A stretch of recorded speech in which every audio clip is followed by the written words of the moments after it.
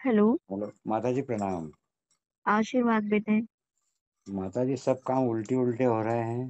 बहुत परेशान हो गया हूँ मैं तो। हाँ हाँ।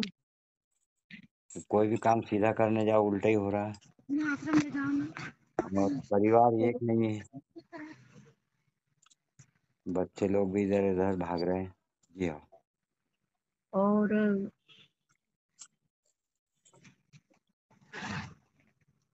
आपका तो पूरा परिवार ही अस्त व्यस्त है बेटे।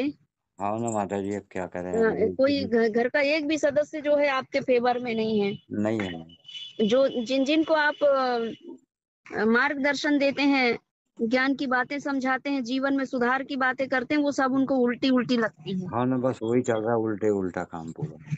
तो वो उल्टा नहीं होना चाहिए इससे पूरा जीवन बर्बाद हो जाता है बेटे।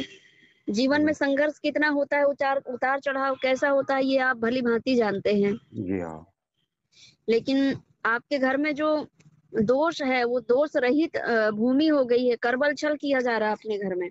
तो माता जी करबल छल के कारण ये छोटे छोटे प्रयोग के कारण पूरा अस्त घर अस्त व्यस्त हो गया है। जी। और ये अस्त व्यस्त घर से फिर नकारात्मक ऊर्जाएँ प्रवेश कर जाती है ऐसे में। जी। जिस घर में ज़्यादा किलकिल होती है जिस घर में ज़्यादा पूजा पाठ नहीं होती जिस घर में बड़े बुज़ुर्गों का सम्मान नहीं करते तो उस घर में नकारात्मक ऊर्जाएँ प्रेत बाधा व्याप जाती है और वही कंडीशन अपने घर में है। जी। तो इस सबको ठीक करने के लिए ये सारी कंडीशन ठीक हो विचार एक मत हो सबके। जी। तो इस विषय को विशेष ध्यान रखते हुए मैया की कृपा से सब ठीक हो सुलभ हो। तो माँ बगलामुखी की कृपा प्राप्त करने से ये सारे मार्ग दुख के जो हैं वो ठीक हो जाते हैं। जी।